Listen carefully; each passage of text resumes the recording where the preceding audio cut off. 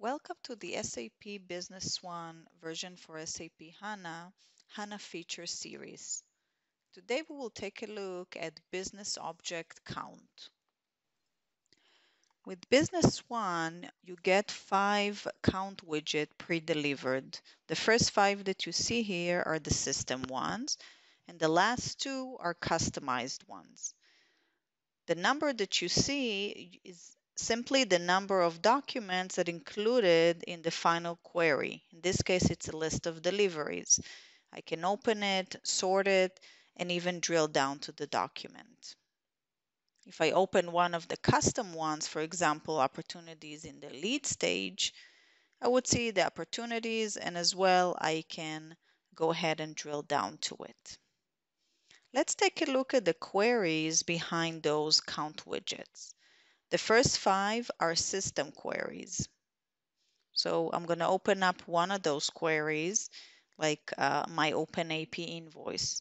It really is a regular query except for the particular code that we entered here that indicates um, the owner and or the user signature to match the current connected user. So you can use this code as an example uh, when you create your own queries for the business object count. Now, if I take a look at the opportunities in the lead stage query, it's just a simple query. And of course, whatever fields I include in the query, those will be displayed in the object. Now I have another query for overdue POs, again, another simple query. I'm going to create an uh, account widget. So I'm going to go uh, to add mode and, and identify a code and a name, in this case overdue POs. And I will point to the query that I already uh, created ahead of time and saved it in the query manager.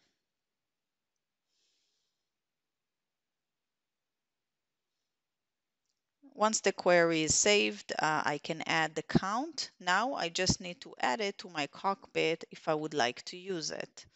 So I'll go ahead to the widget gallery and include the new uh, count widget.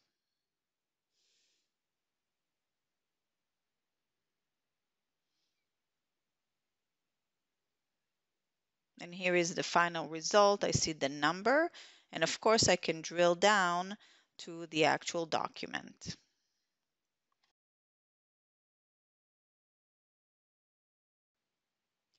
Thank you for your time.